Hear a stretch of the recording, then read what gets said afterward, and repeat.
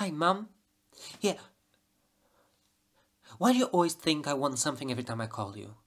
Yeah, come on. Anyway, uh, I need something. Yeah, you know the dog, Lucky? What breed is she?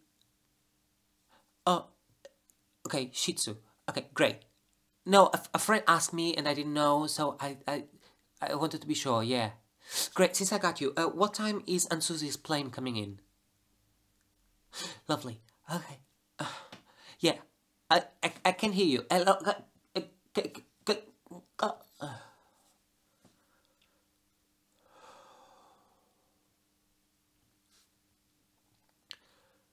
It's me. I need a favor from you. I need a Shih Tzu. Basically, I'm house sitting for my auntie, and the stupid dog last night ate three Easter eggs. Yeah, and now I'm pretty sure it's dead. Definitely. Dead, Shih Tzu. I I need one by 3 p.m. Yeah, you're the only one that can help me. Meet me at 3 p.m. by the ice cream van.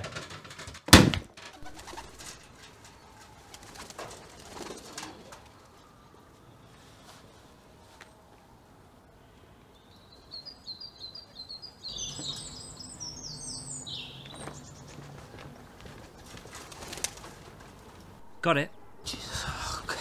Jesus, okay. It's definitely a female, right? 100%. Okay, and looks the same as the picture? They could be twins. Okay, it's dead. Yep.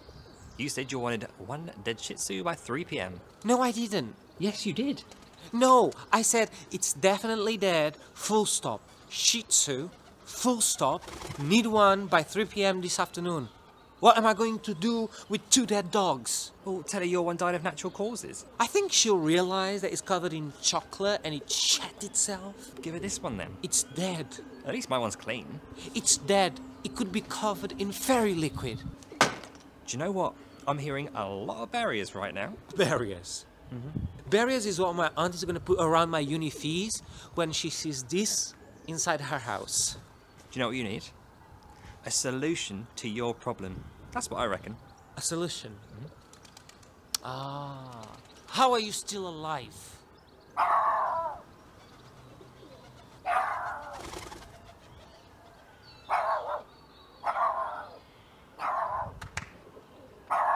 Oh, oh,